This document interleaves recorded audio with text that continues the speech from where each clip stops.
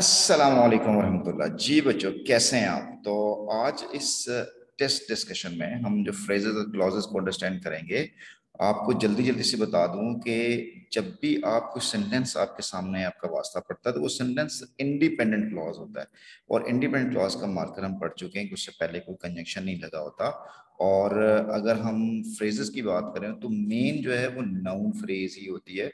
और noun phrase के लिए आपको याद है, हमने कहा था आर्टिकल हो, या कोई डिटर्मिनर हो, या कोई क्वांटिफायर हो, जैसे फ्यू भी एक क्वांटिफायर है, या कोई पोजेसिव एजेक्टिव लगाओ जैसे हेज होता है तो ये मार्कर होगा नाउन फ्रेज का, ठीक है? और इसके बाद अगर कोई प्रेपोजिशन से कुछ स्टार्ट हो रही हो फ्रेज जैसे इन है ऑन है तो वो प्रेपोजिशन फ्रेज होगी। दुनिया की हर प्रेपोजिशन फ्रेज एडजेक्टिव फ्रेज भी हो सकती है और एडवर्ब फ्रेज भी हो सकती है। कैसे होगी? एडजेक्टिव से पहले नाउन लगा होगा और एडवर्ब से पहले वर्ब लगा होगा, ठीक है? और जब हम क्लॉज की बात करते हैं तो क्लॉज से पहले कोई ना कोई कंजंक्शन लगा होगा और ये कंजंक्शन कौन से हैं? वो वाले ए वाइट बस वाला ए वाइट बस वाले कंजक्शन लगे होंगे। अब जितने भी डिपेंडेंट क्लॉज हो, दुनिया का हर डिपेंडेंट क्लॉज या नाउन होगा, या एजेक्टिव होगा, या एडवर्ब होगा नाउन सब्जेक्ट या ऑब्जेक्ट की जगह पर आता है।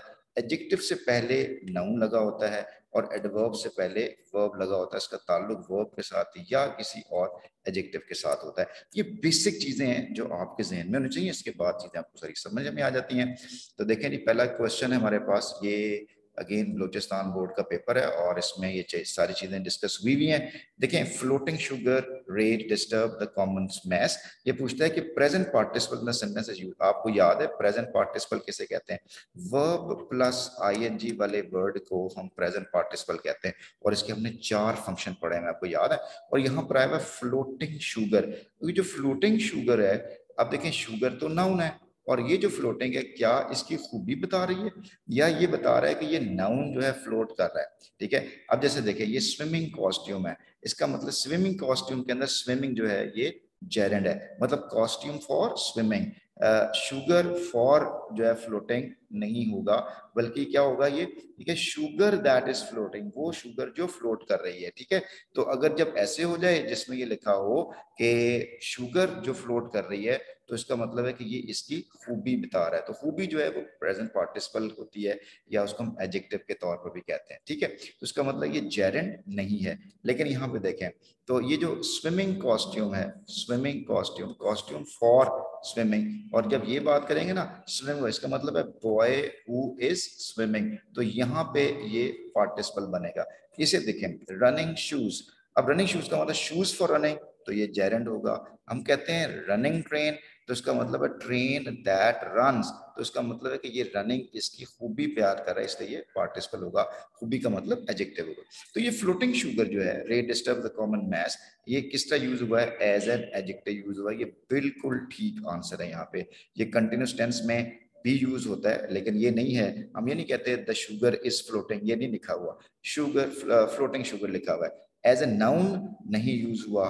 और ये एज ए एडवर्ब भी यूज़ नहीं हुआ तो आंसर हमारा अल्फ़ा हुआ। शी इज़ वीपिंग अब ये असल में ना ये क्वेश्चन गलत लिखा हुआ उन्होंने। इनको ये लिखना चाहिए था choose the correct participle in place of sweeping weeping की जगह पर आने वाला वर्ड को क्या रिप्लेस कर सकता है? तो शी इज़ शाउट्स तो नहीं हो सकता। शी इज़ शाउटेड का मतलब है कि उसको चिलवाया गया तो वो तो मतलब पैसे वैसे तो सेंस नहीं बनेगी। और शी इज़ शाउट भी नहीं बात बनेगी। तो क्या बनेगी? शी इज़ शाउटिंग तो डेल्टा ऑप्शन करेक्ट होगा। शी इज़ शाउटिंग तो ये ये यहाँ पर फिट हो सकता है। Iman prefers fried eggs the past participle in the sentence is used देखिए यहाँ पे पास्ट पार्टिसिपल कौन सा? फ्राइड फ्राइड और उसके बाद क्या है? एग्स अब मुझे बताएँ एग्स जो है, वो उसकी फ्राइड क्या बता रहा है? खूबी बता रहा है कि एग कैसा है? फ्राइड है. तो इसका मतलब है कि ये फ्राइड एग की क्योंकि खूबी बता रहा है तो जो चीज़ खूबी बता रही होती है तो वो एजेक्टिव होता है. तो ये past participle as an adjective के तौर पे यूज़ हुआ है। ठीक हो गया? इस तरह से Yousuf is fond of flying kites अब देखो ये फ्लाइंग काइट्स है। आपको मैंने फॉर्मूला एक बताया हुआ है कि काइट्स आर फ्लाइंग है, कि काइट्स दैट इज़ फ्लाइंग है। ठीक है? तो आपको पता चल जाएगा यहाँ पे इस फॉर्मूले देखें। Running shoes shoes for running और running train train that run ठीक है? जब आता है ट्रेन दैट रन तो पार्टिसिपल होता है। और अगर हम जब बात करते हैं कि शूज़ फॉर रनिंग तो वो चैरन बनता है। मतलब जेरेंट नाउन के साथ आ रहा होता है। तो फ्लाइंग काइट्स का मतलब हुआ Yousuf is fond of flying kites Yousuf किस चीज़ का शौक रखता है? वो फ्लाइंग का शौक रखता है। फ्लाइंग क्या? काइट्स तो असल में अब ये as a object of preposition use हो रहा है। अब ये एक बात देखें। अब देखें, ये आपको ऑफ़ नज़र आ रहा है ऑफ़ क्या चीज़ है? प्रपोजिशन है। प्रपोजिशन के बाद आने वाला दुनिया का हर वर्ड नाउन होना चाहिए। और आपको मैंने बताया है कि अगर प्रपोजिशन आ जाए, जैसे ऑफ़ आता है तो उसके बाद नाउन है। तो नाउन कौन सा हुआ? काइट्स अब नाउन से पहले क्या आ सकता है? एजेक्टिव आ सकता है। तो इसका मतलब ये है कि ये एक एजेक्टिव है, ठीक है? और एजेक्टिव है तो यहाँ पे ऑप्शन एजेक्टिव को नहीं दी हुई। अच्छा अब अगर हम कहते हैं कि ऑफ़ के बाद आने वाला ये जो नाउन है ना, इस नाउन को हम प्रपोजिशन का ऑब्जेक्ट भी कहते हैं, इसको प्रपोजिशन का ऑब्जेक्ट भी कहते हैं। इसका मतलब है कि फ्लाइंग यहाँ पे ऑब्जेक्ट के तौर पर आ रहा है तो एज एन ऑब्जेक्ट हो सकता है, ये बिल्कुल ठीक आंसर हो सकता है, लेकिन असल में ये ऑब्जेक्ट किसका है? ये वर्ब का ऑब्जेक्ट है कि प्रपोजिशन का है। ऑब्वियसली ये प्रपोजिशन का ऑब्जेक्ट है, लिहाजा कि हमारा चार्ली ठीक होगा, ये अल्फ़ा गलत होगा। तो एज एन ऑब्जेक्ट प्रपोजिशन के तौर पर इस्तेमाल हुआ है। ठीक है, ये बात दोबारा सुनने मैंने क्या कहा?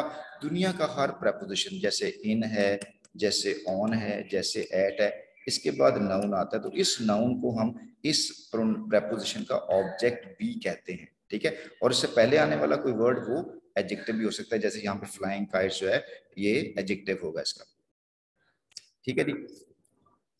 इसके बाद है कि नेक्स्ट देखते हैं taking breakfast early in the morning is a good habit अब देखिए मुझे जी व्हाट इज़ गुड हैबिट क्या चीज़ अच्छी हैबिट है? वो है टेकिंग ब्रेकफास्ट तो मुझे बताएँ ब्रेकफास्ट दैट इज़ टेकिंग है कि ब्रेकफास्ट फॉर टेकिंग है? ठीक है तो ये फॉर्मूला यहाँ पे थोड़ा सा गड़बड़ लग रहा है, लेकिन हमें लगता है टेकिंग ब्रेकफास्ट नाश्ता करना.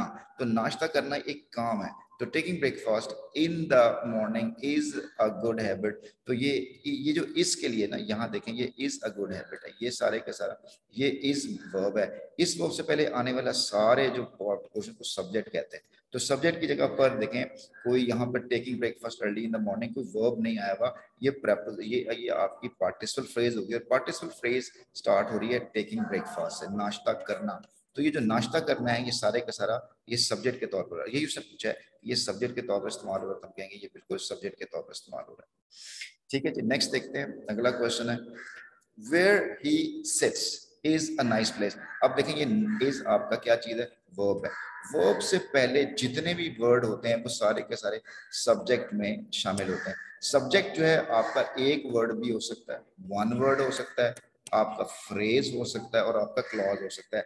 अब मुझे बताएँ यहाँ पर वेन एवर ये वेर एवर जो है, ये पार्टिसिपल वो आपका कौन सा सबॉर्डिनेट कनेक्शन है?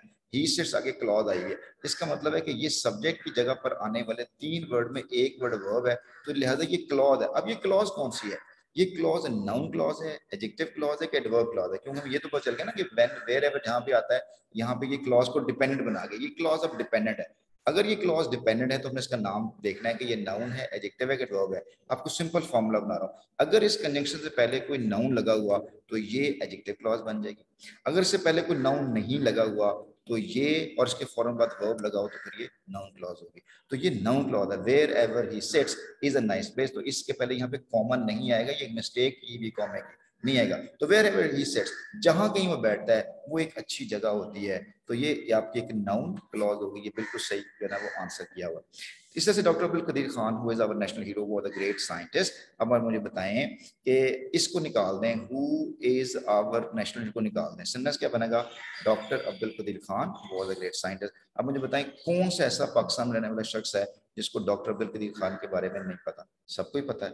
और जब कहते हो डॉक्टर अब्दुल कदीर खान बहुत ग्रेट साइंटिस्ट तो आपको समझ लग जाती है, मैं किसकी बात कर रहा हूँ? ये इस who is our national hero जो है, ये जो इन्फॉर्मेशन दी, ये किससे स्टार्ट हो रही है? हु से?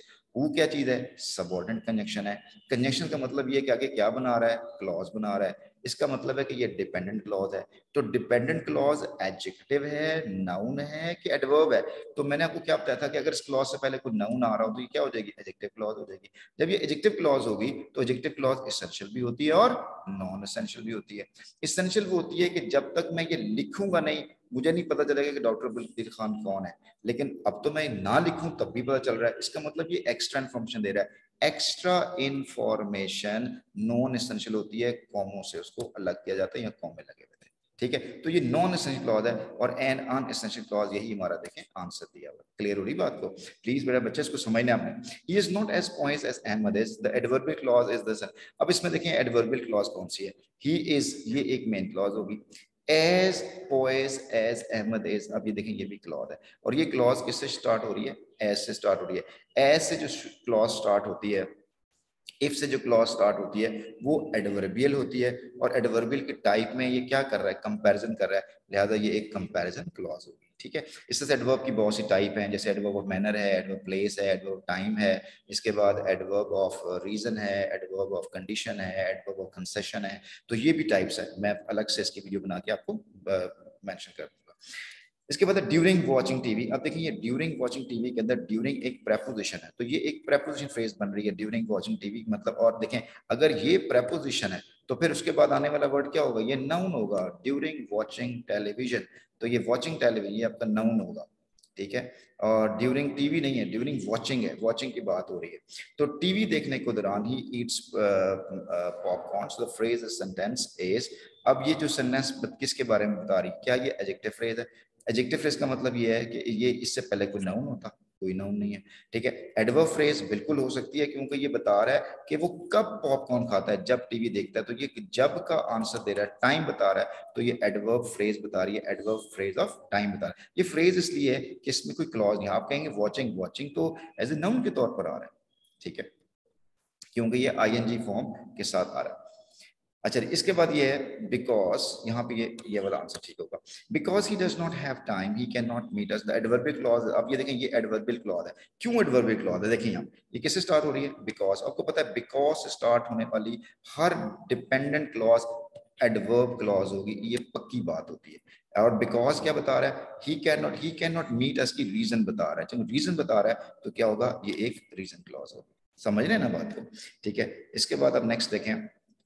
She is a chicken hearted girl the figure of speech is sun ये फिगर स्पीच है चिकन हार्टेड आप देखें, उसका लड़की का दिल जो है ना, मुर्गी की तरह तो नहीं होता। लेकिन अगर हम कहेंगे चिकन हार्टेड इसका मतलब हम कहते हैं कि बुजदिल है। तो ऐसी चीज़ों को जो लाइक और एस के बगैर होते हैं, उसको मेटाफर कहते हैं। ये फिगर ऑफ़ स्पीच है, आपको थोड़ी बहुत पता होना चाहिए। Ali is a sagacious boy noun sagacious boy in the is अब वो कहता है कि ये जो है ना ए सगेशियस बॉय के बारे में बताएँ क्या चीज़ है। ए सगेशियस बॉय के बारे में बताए नाउन सगेशियस बॉय ये इन द सेंटेंस इज़ क्या ये ऑब्जेक्ट है?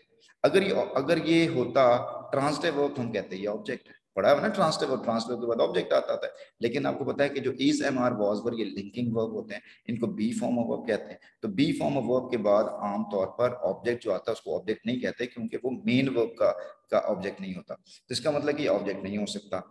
तो ये नाउन एपोजिशन जो है ना, वो नाउन के आगे एक एक्स्ट्रा इन्फॉर्मेशन कहते हैं तो उसने अली के बारे में कोई एक्स्ट्रा इन्फॉर्मेशन नहीं दी हुई, ये भी नहीं होगा। ये सब्जेक्ट नहीं है तो ये एक कॉम्प्लीमेंट है, याद रखिएगा। Is am are was word के बाद आने वाला जो भी वर्ड होगा, वो ऑब्जेक्ट नहीं होगा उसको, बल्कि हम कॉम्प्लीमेंट कहते हैं कॉम्प्लीमेंट कहते हैं, ठीक है?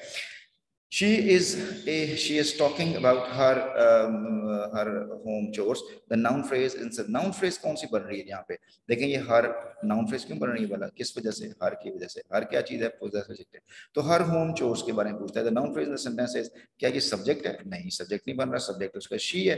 और शी इज़ टॉकिंग अबाउट आप देखें अबाउट क्या चीज़ है? अबाउट प्रेपोजिशन है। तो ये प्रेपोजिशन का ऑब्जेक्ट बन रहा है। ठीक है? तो अपोजिशन नहीं होगा एपोजिशन नहीं है कॉम्प्लीमेंट नहीं है, क्योंकि इसके बाद ये तो टॉकिंग आ गई, ये तो बी फॉर्म ऑफ़ वर्ब है, इसके बाद ये मेन वर्ब आ गया तो ये तो हेल्पिंग वर्ब आ रहा है, ठीक है?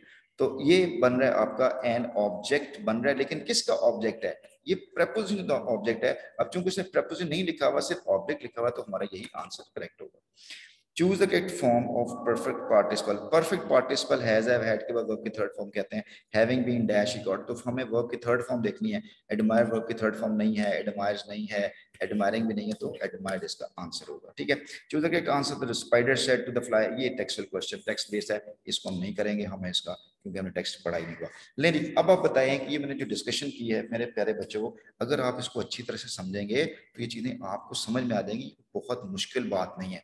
आपने बेटा जी ज़रूर फीडबैक देना है कि आपको कितनी समझ लगी और कितनी समझ नहीं लगी। आपका बहुत बहुत अपना ख्याल रखिएगा और अल्लाह तला आपको दीन दुनिया की सारी बधाइयाँ अता फरमाए, आमीन।